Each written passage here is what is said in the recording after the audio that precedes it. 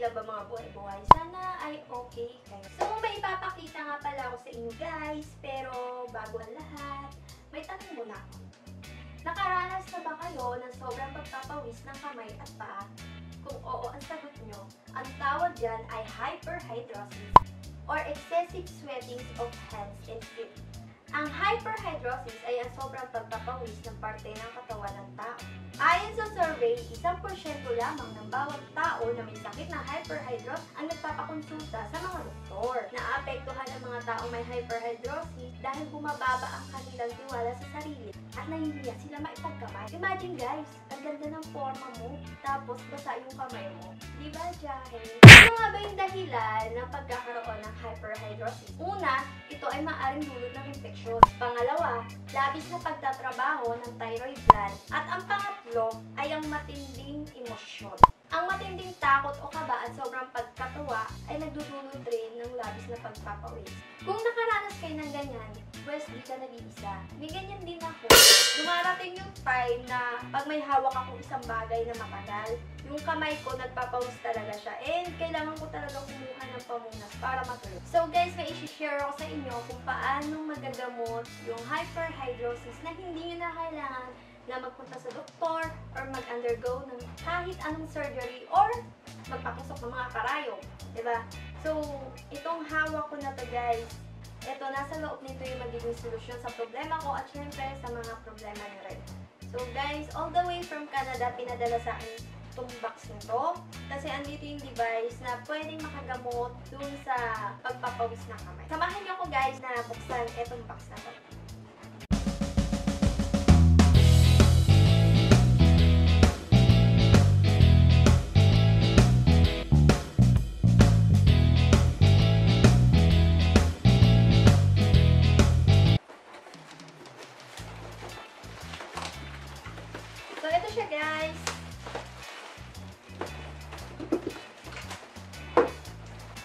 Nakikita nyo is yung Iontoderma ID1000 device. Kabalik yung plastic.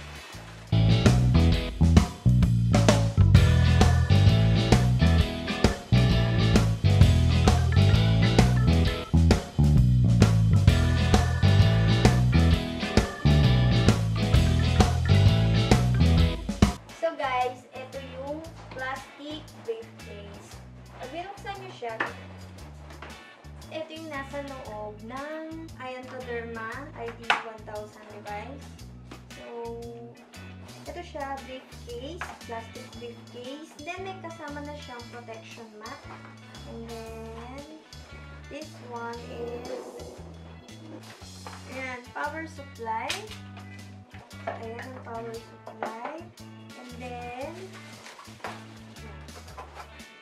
hand cream. Kasi magda-dry yung palad kapag gumamit na tayo nito. So, kailangan hand cream. And then, meron na rin siyang kasamang mga instruction menu. And then, ito guys, ito yung mm, plate. Yung plates. Ayan guys. Dalawa yung kanyang mat.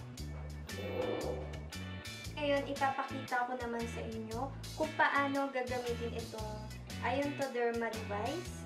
First step, ilalagay muna natin yung mga plates. Ayan.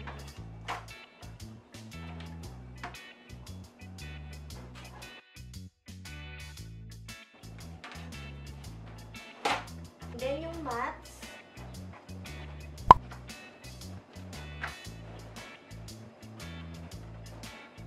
Then next is ikabit natin yung mga kable. So ito yung kable. So make sure na yung red cable is nasa right. And then sa kabila ito lang. So guys, idudugtong natin yung kable sa power supply.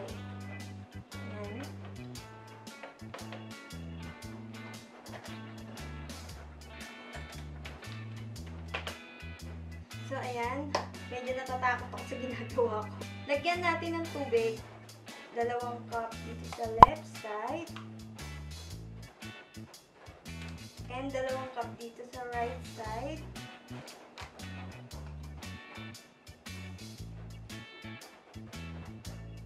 Ayan. Saksak natin siya. Marami siyang pwedeng balls, pero dadalhin lang natin siya dito sa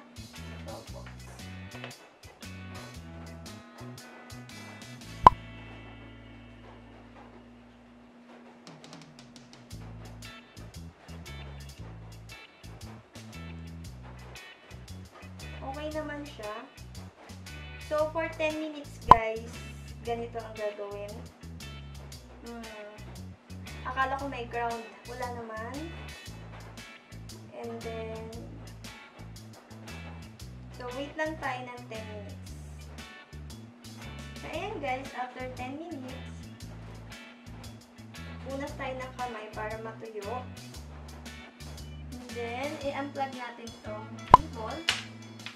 Then, switch. Pagpalitin natin.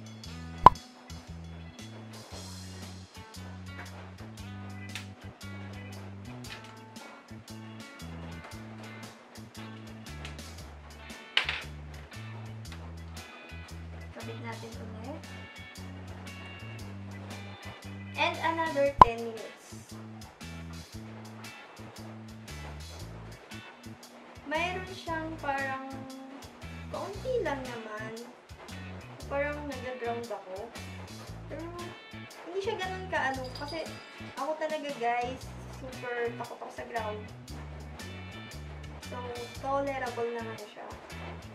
So, wait tayo ng 10 minutes. And then, guys, that's all.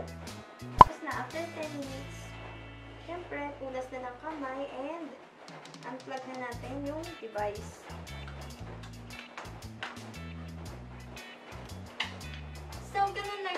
Kadali gamitin, guys. And, gagawa ako ng video ng result nito for the next other week.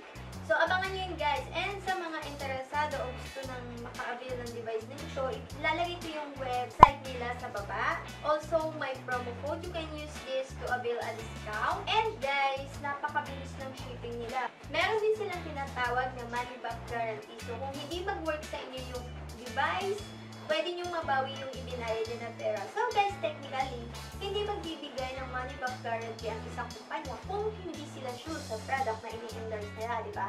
Based sa mga na-research ko, may mga feedback naman na talagang nag-work yung product sa kanila. So guys, ano pang inaantay nyo? Kung kayo nakakaranas ng ganito or may mga kakilala kayo na nakakaranas ng hyperhidrosis, i-share nyo to sa kanila. Makakatulong pa kayo. So, yun lang guys. Salamat sa panonood and see you in my next video. Bye!